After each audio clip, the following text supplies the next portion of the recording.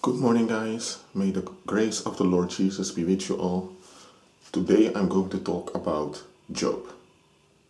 Yes, maybe in church you've heard about Job in relationship to his suffering.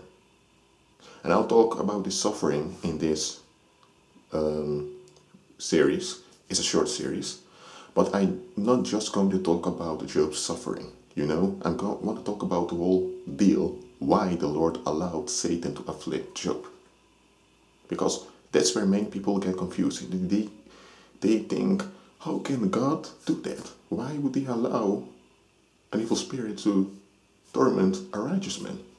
You see, and some atheists, you know, or agnostics come with a self-righteous attitude before the before the presence of the Lord, declaring that they are more good than God himself they come with a lot of accusations against the Most High.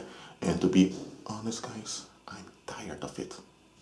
So I'll make this series because, because I want you who are saved, those I want you, my brothers and sisters that are saved, to understand the truth so that you will be delivered from all those stigmas of this world. And the second motive is I just want those hate mongers, because that's what those agnostics really are, with their self righteous attitude as if they are more better than the infinite creator himself. That's what they are towards the Lord, and I want them to shut up for a while because they don't know anything. Okay?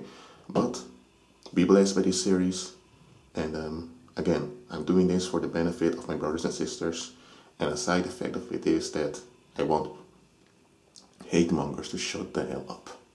Okay? May the grace of the Lord Jesus be with you all.